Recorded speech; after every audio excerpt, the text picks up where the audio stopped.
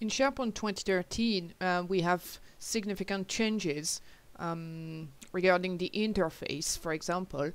And here we are on the home site, which is called departments, and we have one, two, three subsites. Um, before we could see on SharePoint 2010 that we had the site action uh, drop down menu here, but we don't have it anymore. So most of the time that you want to create something new like an app because they are called apps now uh, in SharePoint 2013. So list, libraries, um, subsites. What you need to do is you need to go on the site contents. So we're going to click on the site contents and here you can create apps, uh, libraries or lists. Um, here at the bottom you can see that you have new subsites. So we're going to click on this and we're to create a new subsite. We're to call it sales. We can give it a description. Um, team site for the sales department.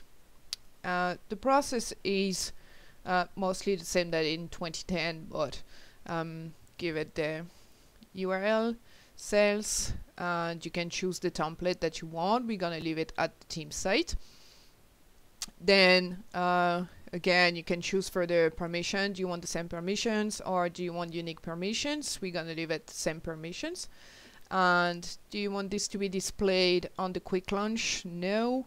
Um, display the site on the top link bar of the parent site? Yes.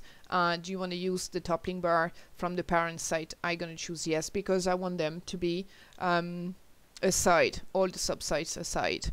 And then you just have to click create.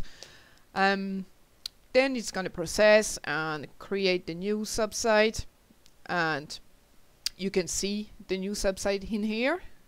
Um, you can remove this if you don't want it and it will be available anyway here. So just for the sake of it, I'm gonna remove it and you can see that it's uh, gonna be available from the setting menu anyway.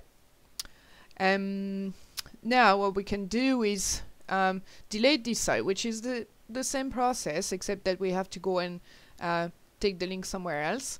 So if we want to delete the site, we just have to be on the site first, the sales size for example, and go on the gear icon that we have there. You go to site settings and then um, it's the same that in SharePoint 2010. You just go on delete this site and make sure that you want to delete it. So click delete and are you sure want to send this site to the site recycle bin? Yes, so click OK and then the site is deleted. So go back to the site and then it disappear.